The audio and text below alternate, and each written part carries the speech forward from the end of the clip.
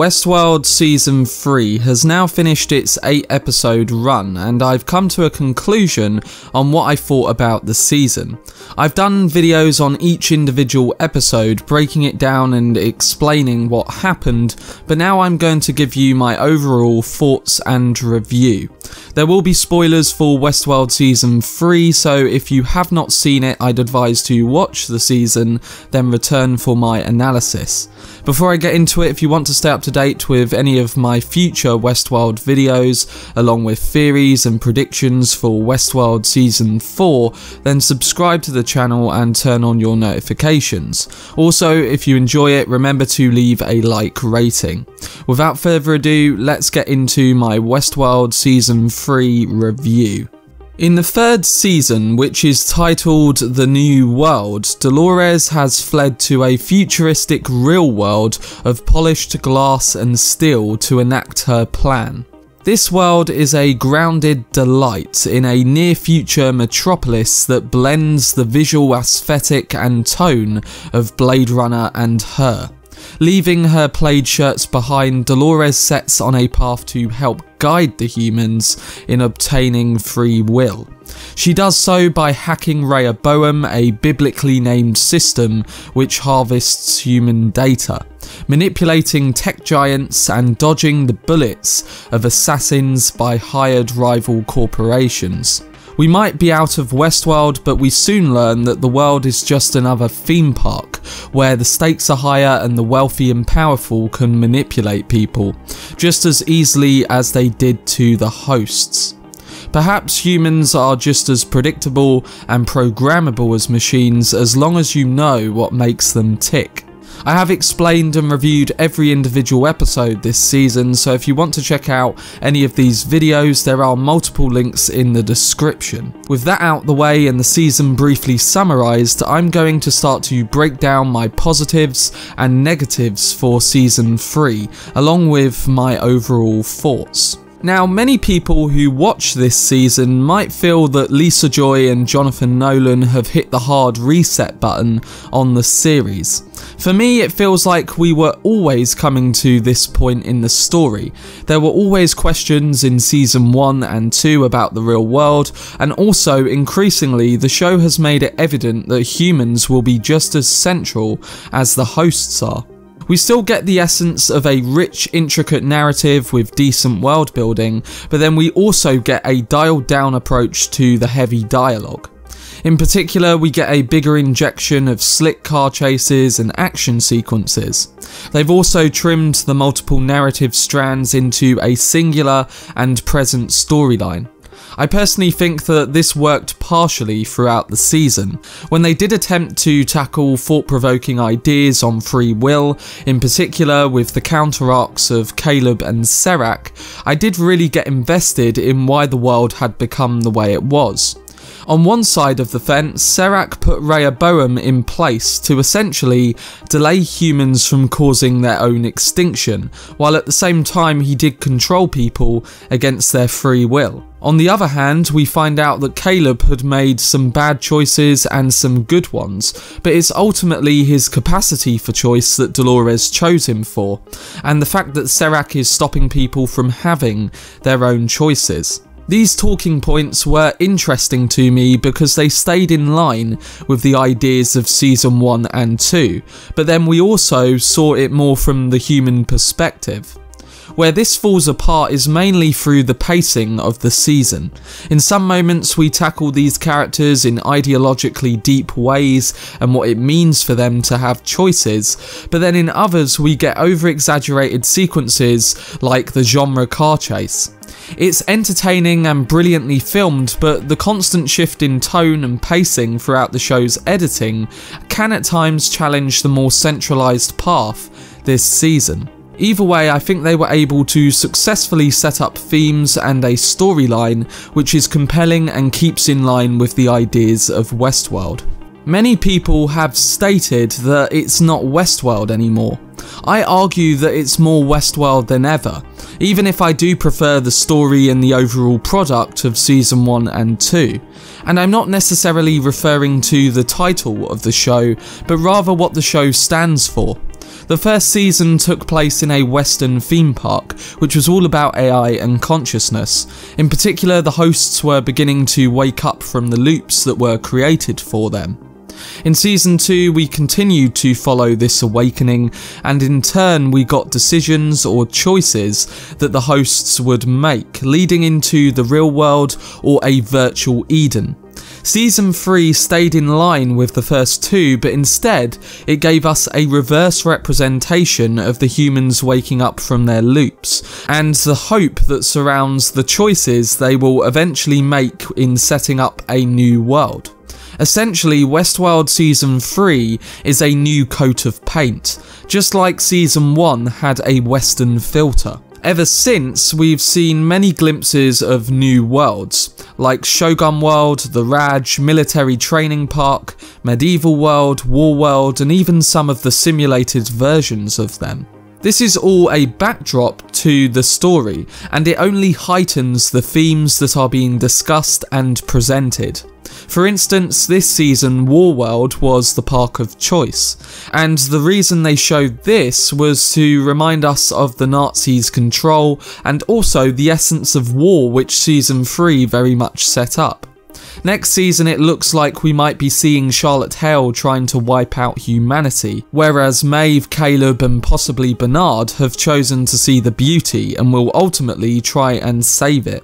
They've set up opposing sides for a new battle and one which weirdly reflects wars of the past. They did the same with Shogun World in Season 2, making that the backdrop to Maeve's growing sympathy for protecting life and her alternative choices. So overall, my positives for this season were that they were able to convincingly introduce us to this new world, retaining the themes and storylines which make Westworld so compelling, while also infusing new characters and a human perspective which really expands the narrative well from where we left off in season 2. When it comes down to the negatives for this season, they mainly focus on pacing. I personally would have liked to have seen more episodes to really flesh out some of these ideas. I found that the final two episodes suffered from this limited exploration, and the reveals and particular character moments could have resonated greater with this development. In particular, I was satisfied with Maeve and Bernard's ending, but it took an entire season for me to really enjoy where they were heading as characters.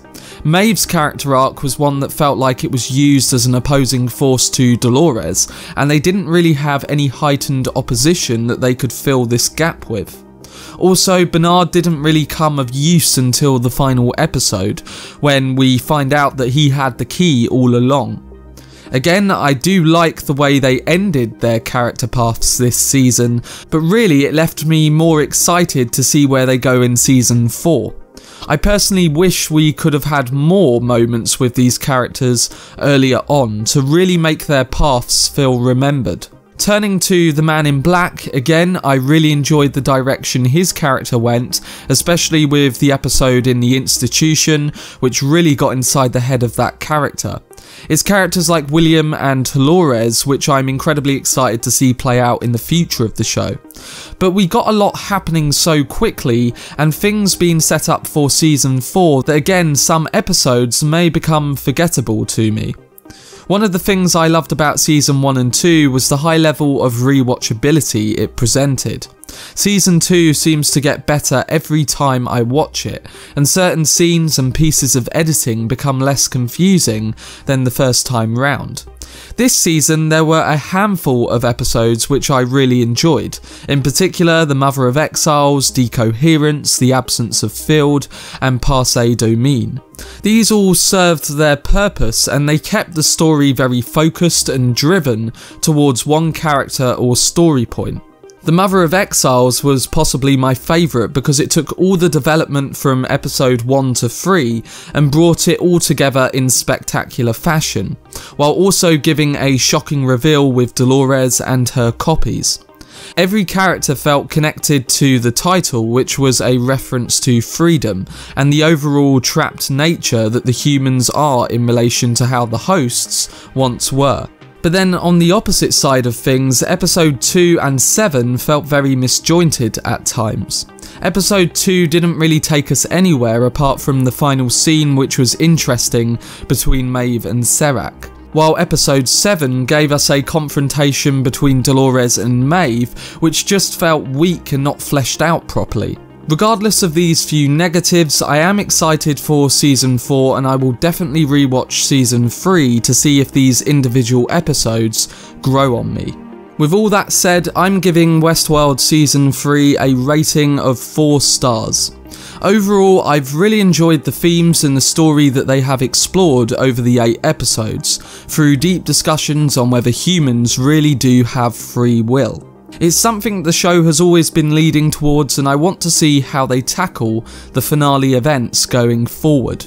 Although the ending of this season felt like a first chapter of the real story which we are now entering into come season 4, at the same time I think this season was necessary to show how we move into this new world.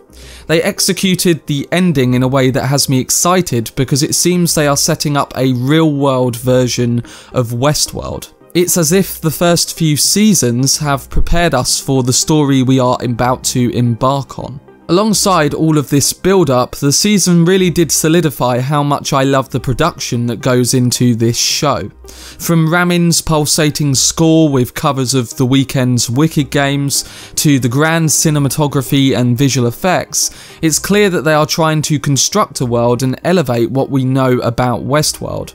It really underlines that the show is built on a science fiction backbone, which allows the creators to keep pushing us into unknown territory, while at the same time preserving what we love about the series. A final point to mention is the performances, which like previous seasons help us to really immerse ourselves in the characters we watch.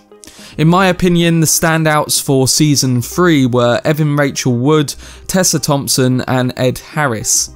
Again, although I would love to have seen more of Hale and William come the finale, the performances we did get in numerous episodes had me fully on board with their character arcs going forward. They all express the nature of grey characters to perfection, ones which aren't fully good or bad, but rather ones which have to make difficult choices because of the world around them. Evan's portrayal of Dolores was one that was able to bring all of these different emotions this season, from sorrow all the way to struggle and fearlessness.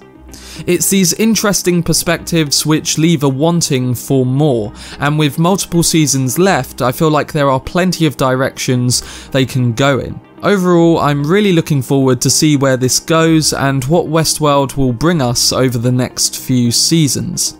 Let me know down below what you thought of Westworld Season 3 and tell me what your predictions are for Season 4.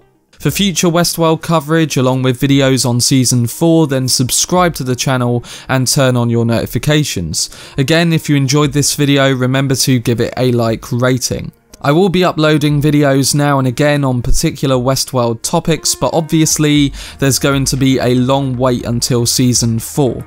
So feel free to comment ideas down below and also recommend shows and movies that you would like to see me cover. But anyway, let me know what you thought of Westworld Season 3 in the comment section. I hope you guys enjoyed it, I've been Cortex, and as always, make some noise.